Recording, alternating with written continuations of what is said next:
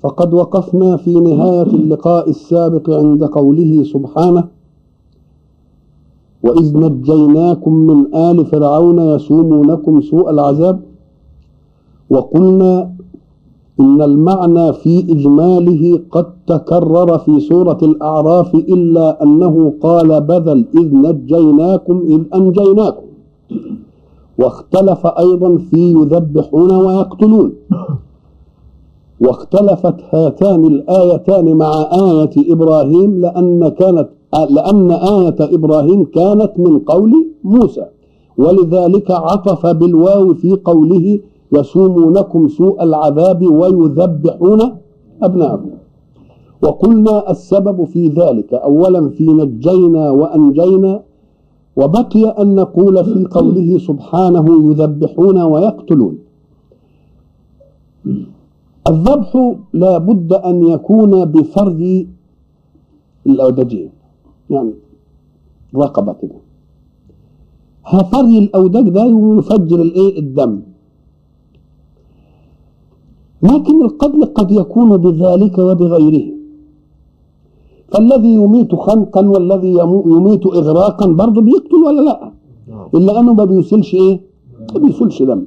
فكأن فرعون حينما أراد أن ينتقم من ذرية بني إسرائيل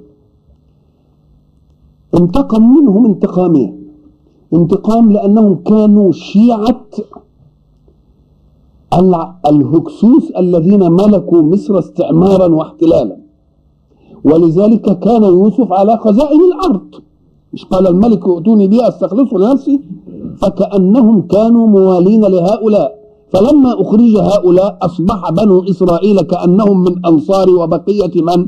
بقية الهكسوس فقعدوا يصومونهم سوء الإيه؟ العذاب طب ومسألة التقتيل والتسبيح دي قال لك إنه رأى رؤية إن نار هبت جات له من بيت المقدس وأحرقت كل المصريين ولم ينجو منها إلا الإسرائيليين فلما طلب تأويل الرؤيا عند أحباره وكهانه وإلى آخره قالوا له إنه يخرج من ذريات إسرائيل ولد يكون زوال ملكه على إيه؟ زوال ملكك على إيه؟ على إيه؟ فماذا يصنع؟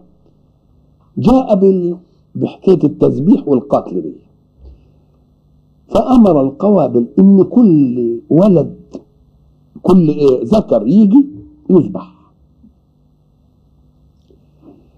فلما حصل هذا كثر القتل في ذرية إسرائيل الذكور. وكبر السن وكبر السن في الكبار يموتون حتف أنوفهم.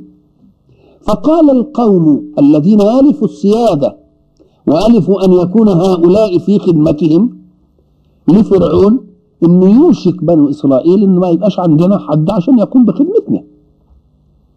حدش يقوم بخدمتنا. فتوسطوا عنده فجعل الذبح عاما والإبقاء على المولودين عاما.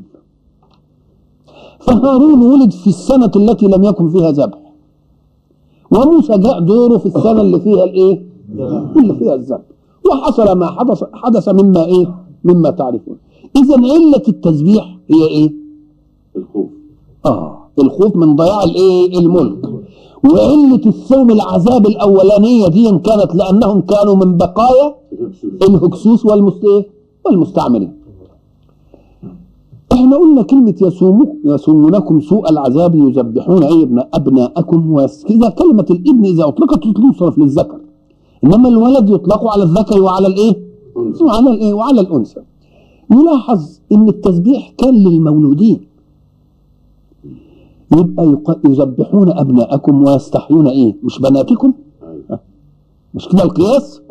إنما ده يدلك على معنى آخر أن الحق آثر التعبير ويستحيون نساءكم على الفكرة المقصودة من إبقاء عنصر الأنوثة. لا هيصيروهم نساء سراري يتمتعوا بيهم. فما قالش بنات لأن كلمة بنات دي تفيد إيه؟ إنهم برضه يفضلوا قال لك لا ما يؤولون إليه حيصيروا إلى إيه؟ إلى نساء. وما دام حيصيروا إلى نساء يبقى معنى ذلك أنهم يريدونهم إيه؟ سران يبقى دي ودي زيادة في التنكيل لأن الرجل حين يحجبه أمر يقضي على حياته يبقى خلاص سلم في نفسه. ولكن الذي يؤلمه أن يترك إيه؟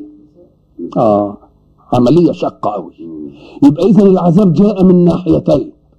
من ناحية ازهاق الحياة من ناحية إبقاء الإيه؟ النساء. إبقاء؟ النساء. وسماهم إيه؟ نساء. وكلمة نساء دي بيقولوا عنها اللغويين أنها هي نساء. ونسوه ونسوان.